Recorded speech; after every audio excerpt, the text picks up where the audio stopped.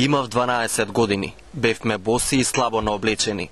Надвор беше ладно, а на границата имаше снег. Се сеќавам и на денот, беше 26 март. Со вознемиреност 72 годишната Сијка Ставровска Иновска, родена во градче Костурско, го раскажува екзодусот на децата од Егејскиот дел на Македонија. Бевме пет деца.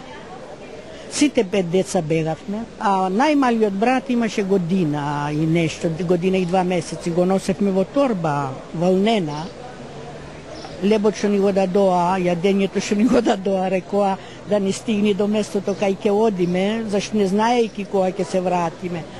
Ние деца кога бегевме од дома не мислевме дека бегаме за секогаш. На четвртата светска средба на децата бегалци од Егејскиот дел на Македонија, по повод 60 години од екзодусот, во соборниот храм се одржа панихида во спомен на загинатите учесници во антифашистичката и граѓанската војна во Грција. Во граѓанската војна имам загинато и брат и татко.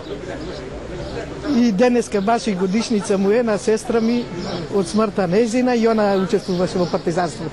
Утре учесниците на средбата ќе го посетат манастирот во Лешок.